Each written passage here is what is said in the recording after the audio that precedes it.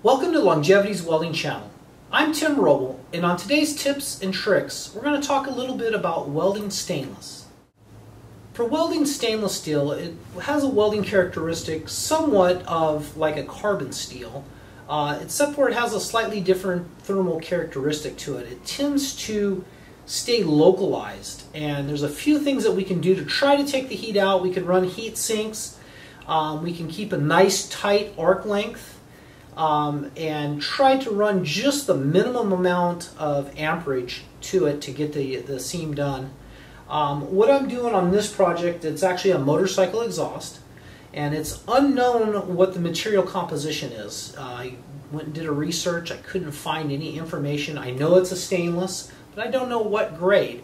So I chose not to use a ER308L rod and I've kind of went to my go-to when it's a dissimilar metal or I don't know what exactly I'm welding. Uh, I use a rod that's called a super missile weld or a 3 dash uh, SMW rod and what I use that for is joining maybe a stainless to a carbon uh, piece. Sometimes you run into that. And what it is, it's a real high tensile strength rod, about 107,000 psi tensile, and then it's got great ductility, so it keeps things from breaking apart.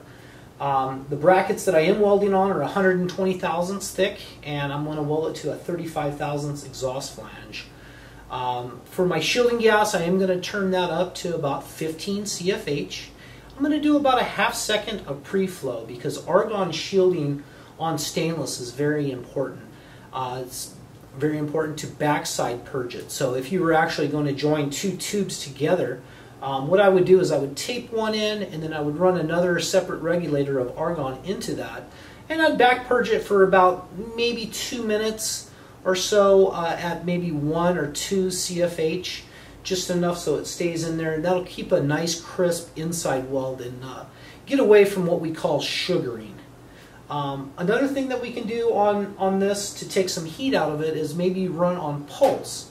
But being that I don't have any test pieces on this exhaust, it's just kind of like a one-shot deal. So I don't want to take the chance of maybe going too hot on the pulse settings or not get it dialed in right. So I'm going to go ahead and use the foot pedal. I'm going to start off low.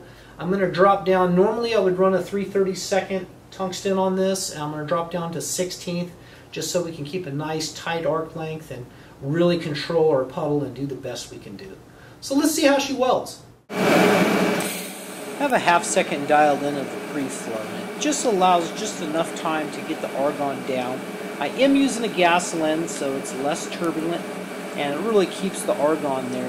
You notice I'm running a pretty decent sized cup there and looking for the most amount of coverage possible. Keeping a very tight arc length here is very important try to dip and continue to move. As we come to the end of the weld, we'll talk a little bit about post flow. Post flow, I got turned up to about 8 seconds and I let the full length run while things cooling. It's just going to give you the best result there. For coloring, we're looking more of a lighter salmon color. If you're starting to get into purple or into a dark gray, you're too hot. Hope what you got out of this was not just my word for things, but the number one thing I want to pass along is always do the research. You have a computer for a resource, Google search it, and it doesn't mean just because you read it on the internet that it's actually the truth. So maybe do a search maybe on five different ones and figure out what's the right process for you, the right rod for the job, and then go with that. Thank you for watching Longevity's Welding Channel. I'm Tim Roble, and I'll catch you here next time.